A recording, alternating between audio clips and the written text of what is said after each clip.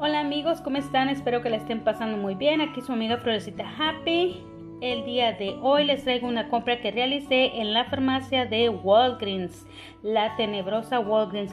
Bueno, pues andaba acompañando a alguien que fue a ponerse su vacuna y mientras esperábamos me puse a revisar mi aplicación y descubrí que tenía algunos cuponcitos bastante considerables. El cupón principal, que fue el booster digital, que dice gasta 20 y recibe 5 dólares en Walgreens Cash. Entonces, este estuve agarrando eh, dos pastas Colgate Optic White de Stain Fighter. Las Stain Fighter este, califican para el cupón. ellas están a 4 dólares y hay un cupón de 4 en la compra de 2. Ellas están a 4 dólares, son 8 dólares. Luego estuve agarrando tres cepillos de la marca Oral B Vivid Whining. Ellos están a 3 dólares cada uno, haciendo un total de 9 y hay un cupón digital de 5 dólares de descuento en la compra de 3. Entonces tengo 8 dólares más 9 dólares son 17. Entonces estuve completando la compra de 20 con 3 paquetes de galletitas de chocolate chip de la marca Nice que es la marca de la farmacia.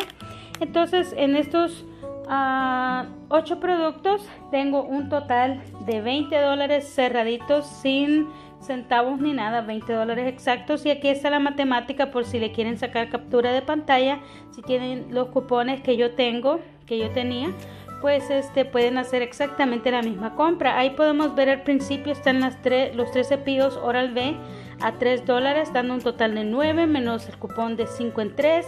Tenemos las dos Colgate Optic White eh, a 4 dólares cada uno, son 8 menos el cupón de 4. Y luego tenemos los tres eh, paquetes de galleta a 1 dólar cada uno, son 3 haciendo 20 dólares.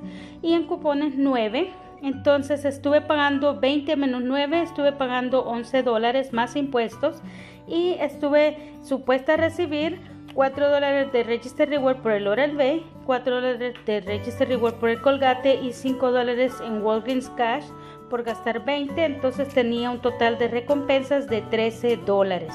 Iba a pagar 11, me iban a devolver 13. Entonces esto me iba a salir con ganancia de 2 dólares.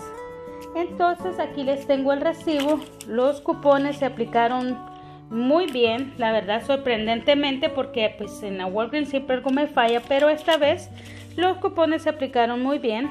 Entonces aquí tenemos a las los cepillos de Oral B 3 a 3 son 9, tenemos las Colgate 4 eh, a 2 a 4 son 8 tenemos las tres galletas a dólar. Entonces ahí están los dos cupones manufactureros son 9 dólares.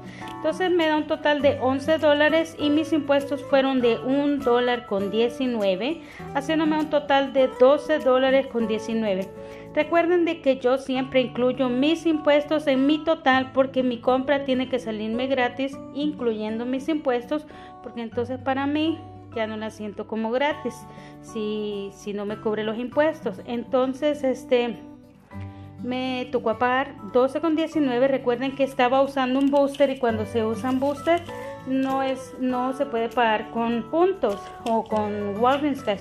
Se tiene que pagar con con cash o con Register Rewards para poder hacer este para que todo salga bien.